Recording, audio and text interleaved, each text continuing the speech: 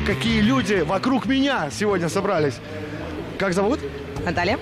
Ну, вас и так все знают. Это самый главный человек э, в фанатской тусовке московского «Динамо». Самый главный, самый надежный, самый преданный организатор и просто умничка и красавица. Как зовут вас? Дмитрий.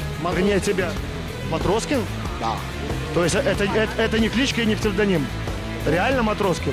Ну, практически. И, и шар поэтому. Усы загримированы. А, в- какой раз в Риге?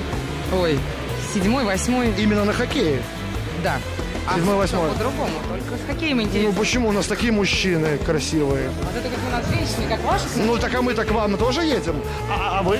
Ой, на хоккей раз в пятый, а всего уж, наверное, десятый.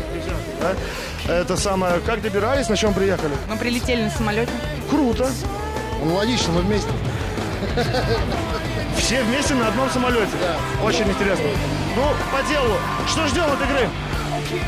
А, побед, наверное. Это понятно, а какой? А по-любому Динамо победит, вы же знаете. Что можно сказать на это? Придерживаешь того же мнения? С Риги всегда матчи интересны. Вот в прошлом году два раза был в Риге, выигрывал два раза московское Динамо, а два раза в Москве выигрывал почему-то рижское. В общем, не знаю, статистика в целом в нашу пользу. Для... Намек понятен. Мы же тоже уже в Москве один раз выиграли. То есть сегодня мы должны уступить, да? Ну, не должны, но если так случится, буду вам был. Мы до вас выйдем. От меня, к счастью, ничего не зависит. Ребята, встречаемся с вами, может быть, в перерыве и после игры уж точно. Спасибо огромное. Спасибо. mood